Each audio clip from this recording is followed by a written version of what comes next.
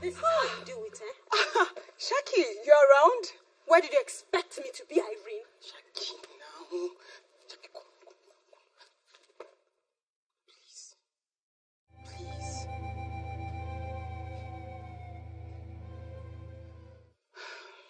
Please. Keep your voice down. My, my husband may hear you.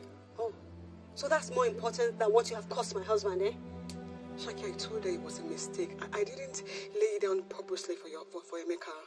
Well, who knows? Because from where I stand, it looks like a duck, walks like a duck, quacks like a duck. It's a duck, Irene. Wait a minute.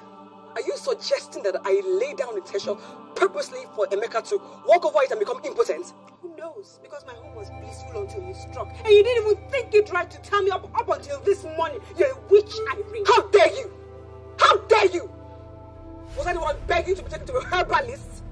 Oh, so it is now my fault that the dog you have as a husband will not give you peace of mind. Well, I'm sorry, Miss Perfect. Miss, do you know that it was my father that gave Emeka money to start his own business? It is the bitter truth. But you are the pro of herbalists. So why don't you run another herbalist to remove the spell from Emeka's manhood so you can leave the hell alone?